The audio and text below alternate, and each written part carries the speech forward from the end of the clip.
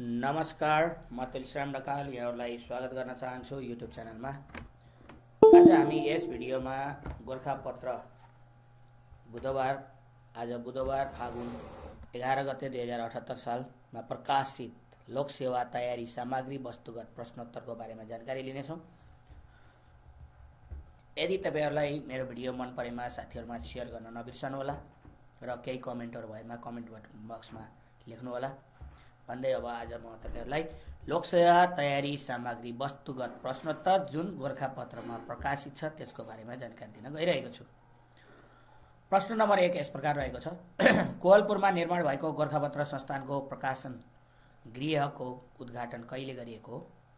विक्रमसम्म दुई हजार अठहत्तर फागुन सात गते। सो प्रकाशन गृहको उद्घाटन प्रधानमन्त्री शेरबहादुर देउवाद्वारा काठमाडौँबाट भर्चुअल रूपमा गरिएको। दुई वर्ष अघि भाडाको पूर्वाधारबाट प्रकाशन सुरु भए पनि विविध कठिनाइका कारण प्रकाशनको काम अवरुद्ध बन्न पुगेको थियो।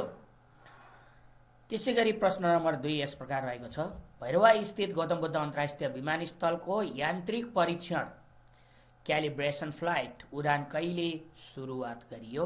विक्रमसम्म दुई हजार अठहत्तर फागुन छ गते। करिब एक हप्ताको क्यालिब्रेसन फ्लाइट पश्चात परीक्षण उडान गरिने। विक्रमसम्म दुई हजार उनासी वैशाख एक गते विमानस्थल उद्घाटन गरिने। यसको अर्थ अब आउने वैशाख एक गते यसको उद्घाटन गरिनेछ त्यसै गरी प्रश्न नम्बर तिन यस प्रकार रहेको छ। नेपाल पन्छी संरक्षण सङ्घले नेपालमा पाइने चराको गणनाका लागि प्रयोगमा ल्याइएको एप कुन हो? छिमेकी चरा। सङ्घले छिमेकी चरा एप मार्फत नेपालमा पाइने चराको गणना गर्नुका साथै संरक्षणको पहल गर्ने भएको सो एप मार्फत चराको सङ्ख्या जिल्ला अनुसार चराको जातिको विवरण प्राप्त हुने जनाइएको। यो एप जो कोहीले पनि आफ्नो मोबाइलमा डाउनलोड गरेर प्रयोग गर्न सकिने। एप प्रयोग गर्ने व्यक्तिले आफ्नो घर वरपर बगैँचा वनजङ्गल वा कुनै स्थानमा चराको विवरण एप मार्फत सङ्घलाई सूचना दिन सक्ने। एपमा भएका चरामध्ये जुन चरा हो सोही चराको फोटो क्लिक गर्नुपर्ने। चराको फोटोसँगै नम्बर पनि राखिएको। चरा चिन्न नसकेमा वा एपमा राखिएका एक सय चरामध्ये आफूले देखेको चरा छुट्याउन नसकेमा एपमा नै सहयोग माग्न सकिने। विदेशमा यस्तो अभ्यास धेरै अघिदेखि हुँदै आएको। सङ्घका अनुसार हाल दुई हजार अठहत्तर फागुनसम्ममा नेपालमा आठ सय अठासी प्रजातिका चरा पहिचान भएका। त्यसै गरी प्रश्न नम्बर चार यस प्रकार रहेको छ। रोलेक्स कन्भर्जेन्स अवार्ड दुई हजार एक्काइसबाट सम्मानित हुने नेपाली को हुन् रिन्जिन फुन्डोक लामा। रिन्जिन फुन्डोक लामा। त्यसै गरी प्रश्न नम्बर पाँच यस प्रकार रहेको छ। नेपाल धितोपत्र बोर्डको अध्यक्षमा कसलाई नियुक्त गरियो? रमेश अमाल विक्रमसम्म दुई हजार अठहत्तर फागुन पाँचमा बसेको मन्त्री परिषद बैठकले बैठकले सो निर्णय गरेको। त्यसै गरी प्रश्न नम्बर छ यस प्रकार रहेको छ। दलित समुदायबाट पहिलो प्रमुख जिल्ला अधिकारी बन्न बन्ने राष्ट्र सेवक कर्मचारी को हुनुहुन्छ? प्रश्न फेरि सुन्नुहोला।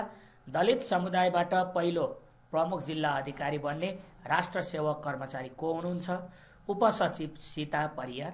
गृह मन्त्रालयले उहाँलाई हुम्ला जिल्लाको सिडिओको जिम्मेवारी दिएको। कास्कीको रूपा गाउँपालिका छ कि स्थानीय बासिन्दा परियार दुई हजार अडसट्ठीमा शाखा अधिकृतबाट निजामती सेवामा प्रवेश गर्नुभएको। त्यसै गरी प्रश्न नम्बर सात यस प्रकार रहेको छ। सार्जे हिमाललाई शान्ति पिक भनेर चिनिन्छ भने कञ्चनजङ्घा हिमाललाई के भनेर चिनिन्छ? नेपाल पिक। त्यसै गरी प्रश्न नम्बर आठ यस प्रकार रहेको छ। साहित्यकार तारानाथ शर्मा तानाको निधन कहिले भएको हो? विक्रमसम्म दुई हजार अठहत्तर फागुन तिन। घोत्लाइहरू दुई हजार एक्काइस भानुभक्तदेखि तेस्रो आयामसम्म दुई हजार सत्ताइस सम र समका कृति दुई हजार उन्तिस उहाँका चर्चित समालोचना कृति हुन्। बेलायततिर बरालिँदा दुई हजार छब्बिस र पाताल प्रवास दुई हजार बयालिस प्रसिद्ध नियात्रा हुन्। नमस्ते दुई हजार चौवालिस जीवनका छाल दुई हजार तिस श्रद्धाका सुमन दुई हजार चौवालिस प्रसिद्ध निबन्ध सङ्ग्रह एवं सुली दुई हजार तिस मेरो कथा दुई हजार तेइस झझलको दुई हजार तेइस ओझेल पर्दा दुई हजार पैँतिस उनका औपन्यासिक कृति हुन्।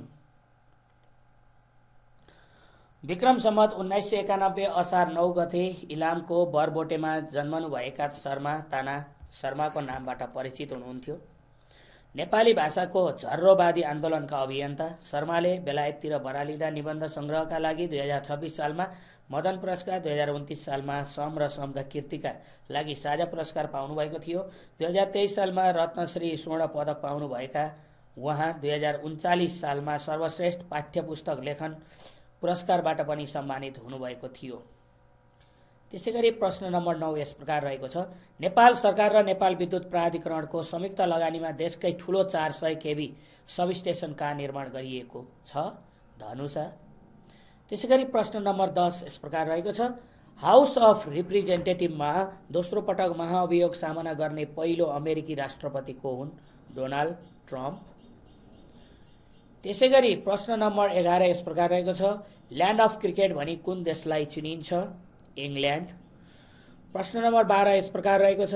महालेखा परीक्षकको कार्यालयको प्रतिवेदन अनुसार बेरोजु फर्स्योटमा उत्कृष्ट बनेको विश्वविद्यालय कुन हो? लुम्बिनी बौद्ध विश्वविद्यालय लगातार तेस्रो पटक उत्कृष्ट बनेको। बेरुजु फर्सेट मूल्याङ्कन तथा अनुगमन समितिले बेरुजु फर्सेटमा निर्धारण गरेका लक्ष्य पूरा गर्दै विश्वविद्यालय उत्कृष्ट बनेको। सो विश्वविद्यालयको आर्थिक वर्ष दुई हजार छिहत्तर सतहत्तरको लेखा परीक्षणमा जेरो पोइन्ट चार प्रतिशत मात्रै बेरुजु देखिएको। त्यसै गरी प्रश्न नम्बर तेह्र यस प्रकार रहेको छ। ड्रोन निर्माण गरी उडाउने पन्ध्र वर्षीय विद्यार्थी को हुन्? किरण अधिकारी लमजुङ। लमजुङ स्थित एसो ब्रह्मा माध्यमिक विद्यालयको कक्षा दसमा अध्ययनरत अधिकारीले ड्रोन बनाई उडाएका। सो ड्रोनले तिन किलोमिटरको दूरी र उचाइमा पनि तिन किलोमिटर उड्न सक्ने बनाएका। डेढ केजीसम्मको तौल बोक्न सक्ने सो ड्रोनले औषधि बोक्ने सभा समारोहमा फुलको वर्ष गराउने राष्ट्रिय झण्डाको प्रदर्शन गर्ने जस्ता कार्य गर्न सक्ने गरी बनाइएको। उनले कक्षा नौमा पढ्दै गर्दा आफूले बनाएको रिमोट कन्ट्रोल गाडीमा चढेर एक किलोमिटरको यात्रा गरेका। त्यसै गरी प्रश्न नम्बर चौध यस प्रकार रहेको छ। आसियानका वर्तमान महासचिव को हुन्? लिम जाक वै ब्रुनाई। नेपालकै पहिलो स्काई क्याफे कहाँ सञ्चालन ल्याइएको छ? पर्वत विक्रम सम्बत दुई हजार अठहत्तर माघ कालीगण्डकीको सतहबाट दुई सय अठाइस मिटरको उचाइमा रहेको बन्जी बराबरकै उचाइमा सो क्याफे सञ्चालन गरिएको। स्काई साइक्लिङका लागि राखिने तार जस्तै गरेर कालीगण्डकी नदी किनारमा रहेको अग्लो भिरमा तार टाँगेर बेन्च टेबल सहितको क्याफेलाई घिर्नेको माध्यमबाट सोही तारमा झुन्ड्याइएको। घिर्नीको माध्यमबाट डरलाग्दो भिरमाथि तारमा क्याफे बिस्तारै हिँडिरहेको हुन्छ। त्यहाँ बसिरहेका ग्राहकले यात्रा सुरु गर्दा अर्डर गरेको खानेकुरा खाँदै खुला आकाशमा यात्रा गर्न सक्ने झन्डै पन्चानब्बे लाख रुपियाँको लगानीमा बनेको उक्त क्याफेमा प्रति व्यक्ति पच्चिस सय शुल्क राखिएको। त्यसै गरी प्रश्न नम्बर सोह्र यस प्रकार रहेको छ। यस वर्ष सन् दुई हजार बाइसको ओस्कार अवार्डका लागि विभिन्न विधामा मनोनयनमा परेका उत्कृष्ट चलचित्रहरू कुन कुन हुन्? Belfast CODA Don't Look Up Don't Look Up Drive My Car Dune King Richard Licorice Pizza Nightmare Alley the Power of Dog West Side Story best side story मनोनयन मनोनयन सूचीमा नेटफ्लिक्सको the Power of the Dog सर्वाधिक बाह्र विधामा मनोनयन भएको। त्यस्तै film Dune उत्कृष्ट चलचित्र र निर्देशकसहित दस विधामा मनोनयन भएको। फिल्म वेल फर्स्ट फर्स्ट र साइड स्टोरीले उत्कृष्ट चलचित्रसहित सात विधामा मनोनयन सुरक्षित गरेका। त्यसै गरी प्रश्न नम्बर सत्र यस प्रकार रहेको छ। अपराधीलाई आर्थिक दण्ड दिने चलन कसले चलाएका थिए? स्थिति मल्ल। मल्लकालमा सुदूरपश्चिममा बाइसै राज्य थिए भने मध्य क्षेत्रमा कस्ता राज्य थिए? चौबिसै राज्य। प्रश्न नम्बर उन्नाइस यस प्रकार रहेको छ। पूर्वको गोसाइकुण्ड भनेर चिनिने प्रसिद्ध धार्मिक तथा पर्यटकीय स्थल कुन हो? तिम्बु पोखरी पाँच थरको याङबरक गाउँपालिका दुई र ताप्लेजुङको सिद्धिम्बा। गाउँपालिका एकको सीमामा अवस्थित तिम्बु पोखरी पर्यटकीय र धार्मिक दृष्टिकोणले महत्त्वपूर्ण गन्तव्यका रूपमा चिनिएको। समुद्री सतहबाट चार हजार चार सय अस्सी मिटरको उचाइमा रहेको। तिम्बु पोखरी नेपालको नक्सा आकारमा फैलिएको। तिम्बु पोखरी आसपासमा हाँडी पोखरी राम लक्ष्मण लक्ष्मी पोखरी मयूर पोखरी दुध पोखरी लगायतका पोखरी रहेका। कञ्चनजङ्घा सहित अन्य हिम श्रृङ्खला दृश्यावलोकनका साथै यात्राका क्रममा हिमाली जनजीवनसँग प्रत्यक्ष साक्षात्कार गर्न सकिने लगायतका आकर्षण यस क्षेत्रमा रहेका। त्यसै गरी प्रश्न नम्बर बिस यस प्रकार रहेको छ। व्यापार तथा निकासी प्रबन्धन विकास समितिको अध्यक्ष को हुने व्यवस्था छ? वाणिज्य मन्त्री वा राज्य मन्त्री? त्यसै गरी प्रश्न नम्बर एक्काइस यस प्रकार रहेको छ। संयुक्त राष्ट्रसङ्घमा उपमहासचिवको व्यवस्था कहिलेदेखि गरिएको हो? सन् उन्नाइस सय अन्ठानब्बे। त्यसै गरी स उन्नाइस सय अन्ठानब्बे। संयुक्त राष्ट्रसङ्घको पहिलो उपमहासचिव क्यानाडाका लुइस फ्रेसेट सन् उन्नाइस सय अन्ठानब्बेदेखि दुई हजार छ हुन्। हाल संयुक्त राष्ट्रसङ्घको उपमहासचिवमा नाइजेरियाका अमिना जे मोहम्मद रहेका। त्यसै गरी प्रश्न नम्बर बाइस यस प्रकार रहेको छ स्वर सामग्री लता मङ्गेशकरको निधन कहिले भएको हो? सन् दुई हजार बाइस फेब्रुअरी छ। फेरि सुन्नुहोला स्वर सम्राज्ञी लता मङ्गेशकरको निधन कहिले भएको हो? सन् दुई हजार बाइस फेब्रुअरी छ। त्यसै गरी प्रश्न नम्बर तेइस यस प्रकार रहेको छ। चर्चित गायक तथा सङ्गीतकार बप्पी लहरीको निधन कहिले भएको हो? सन् दुई हजार बाइस फेब्रुअरी पन्ध्र। सन् उन्नाइस सय बाहन्नमा पश्चिम बङ्गालमा जन्मिएका बप्पीको मातापिता दुवै बङ्गाली गायक गायिका तथा सङ्गीतकार थिए किशोर अवस्थामा नै। सङ्गीत क्षेत्रको बाटो तय गरेका उनले सन् उन्नाइस सय बहत्तरमा बङ्गाली फिल्म दादु मार्फत फिल्मी गीतमा सङ्गीत भर्न सुरु गरे। सङ्गीत भर्न थालेका थिए भने सन् उन्नाइस सय त्रिहत्तरमा आएको फिल्म नन्हा सिकारी मार्फत हिन्दी फिल्ममा फिल्मका गीतमा समेत सङ्गीत भर्न सुरु गरेका थिए। Film disco डान्सरको I am a disco dancer बोलको गीतले उनलाई थप चर्चित बनाएको। करिब नौ हजार गीतका लागि सङ्गीत सिर्जना गरेका उनका याद आ रहा हे तेरा प्यार। याद आ रहा है तेरा प्यार। तमा तमा लोगे दिवाना दिवाना कराना आना। चल्ते चल्ते लगायतका गीत निकै चर्चित रहेका। त्यसै गरी प्रश्न नम्बर चौबिस यस प्रकार रहेको छ। चिनले लङ मार्च टु एप नामक रकेट मार्फत तीन अन्तरा अन्तरिक्ष यात्रीलाई कहिले आफ्नो नयाँ स्पेस स्टेसनमा पठाएको हो। सन् दुई हजार एक्काइस जुन सत्र। त्यसै गरी प्रश्न नम्बर पच्चिस यस प्रकार रहेको छ। भूमि सम्बन्धी ऐन दुई हजार एक्काइस अनुसार विभाग भन्नाले के बुझिन्छ? भूमि व्यवस्थापन तथा अभिलेख विभाग। त्यसै गरी प्रश्न नम्बर छब्बिस यस प्रकार रहेको छ। हाल दुई हजार अठहत्तर फागुन सङ्घ प्रदेश र स्थानीय तिनवटै तहमा गरी कति कर्मचारीको दरबन्दी रिक्त रहेको छ? उनपचास हजार विभिन्न पदमा गरी कुल एक लाख छत्तिस हजार निजामती कर्मचारीको दरबन्दी रहेकोमा अहिले सतासी हजार कर्मचारीको मात्र दरबन्दी पुरा भएको राष्ट्रिय किताबखाना निजामतीले जनाएको।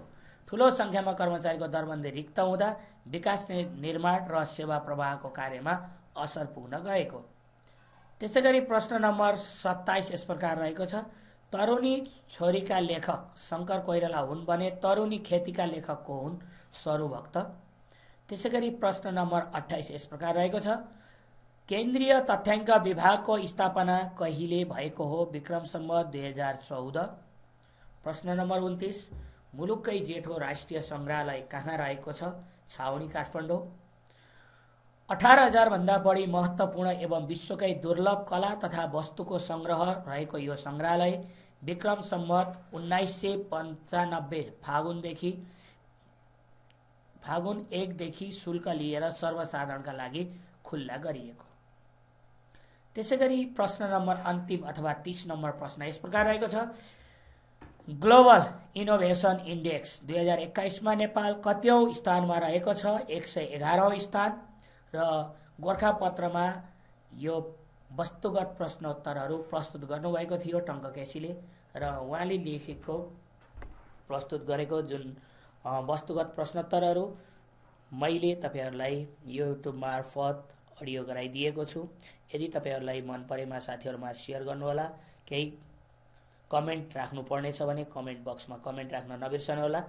आजलाई यति नै गरौँ। नेक्स्ट भिडियोमा तपाईँहरूलाई विषयगत प्रश्नोत्तर लिएर उपस्थित हुनेछु। हस्त धन्यवाद!